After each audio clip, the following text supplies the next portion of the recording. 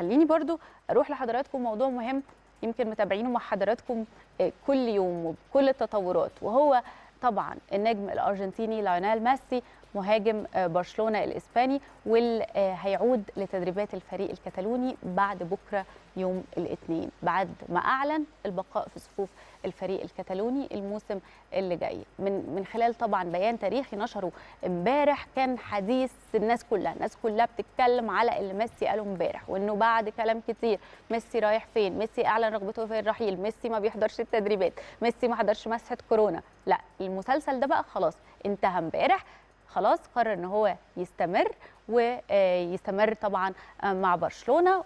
وعلى مدار الأيام الماضية يعني كان الكلام كله عن خروجه من ملعب كام نو تحديدا منذ خروج برشلونة من دور ربع النهائي لدوري أبطال أوروبا. بفضيحة كبيرة طبعا حضراتكم كلنا تابعناها بعد الخسارة قدام بايرن ميونخ الألماني بثمان أهداف لاثنين. امبارح زي ما قلنا المسلسل ده انتهى ميسي طلع وقال أنا مكمل مع برشلونة. والحقيقة ما كانش بيقولها إن هو مبسوط يعني هو مكمل مع برشلونة لأن هو مش عايز الموضوع يوصل للمحاكم والقواضي و- ويدخل في مشاكل وهو لاعب مسالم ومعروف عنه ده ومش حابب إن ده يحصل خلاص.